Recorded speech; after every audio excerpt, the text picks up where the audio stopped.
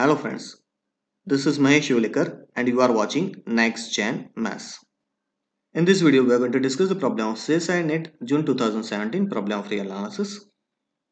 Example for AB belongs to n, consider the sequence Dn equal to NC divided by NCB for n greater than AB. Which of the following statements are true as n approaches to infinity? So we again four options. First option, Dn converges for all values of a and b Second option Dn converges if a less than b. Third option Dn converges if a equal to b. Fourth option Dn converges if a greater than b. If you want PDF of solution of this example, visit our website www.nextgenmaths.com. In the description link is available. Dn equal to NC divided by NCB. So first we are going to discuss the option number 3 which is about Dn converges if a equal to b. Suppose a equal to b then Dn equal to NC divided by NCB equal to NC divided by NC equal to 1. So Dn equal to 1. So it will be a constant sequence and the constant sequence is always convergent. Therefore option 3 is correct option. Now NC equal to n factorial divided by n minus a factorial into a factorial. If we write down the simplified form then we have n into n minus 1, n minus 2 up to n minus a minus 1 divided by a factorial.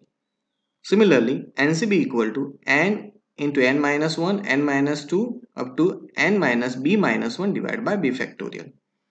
dn equal to NCA divided by NCB. So if we take the ratio of these two number, then we have n into n minus 1, n minus 2 up to n minus a minus 1 into b factorial divided by n, n minus 1, n minus 2 up to n minus b minus 1 into a factorial. Now we are going to discuss the option number 2 where a less than b. So if a less than b then we can easily say is that between n and n minus b minus 1 we have one term n minus a minus 1.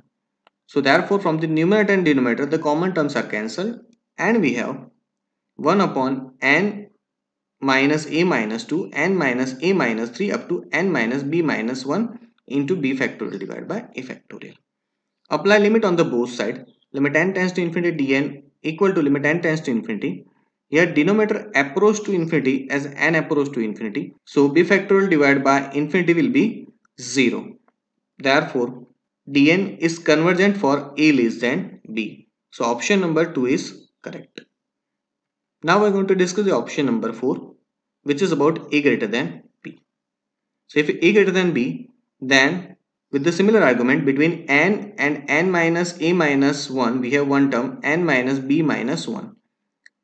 So if we cancel common terms from numerator and denominator we have n minus b minus 2 n minus b minus 3 up to n minus a minus 1 b factorial divided by a factorial. Apply limit on the both side we have limit n tends to infinity n minus b minus 2 into n minus b minus 3 up to n minus a minus 1 b factorial divided by a factorial as n approach to infinity, the numerator approach to infinity. So limit n tends to infinity dn has value infinity. Therefore dn is not convergent for a greater than b. So option number 4 is wrong. And option number 1 is also wrong because it is about the convergence for all values of a and b but it is not convergent for a greater than b.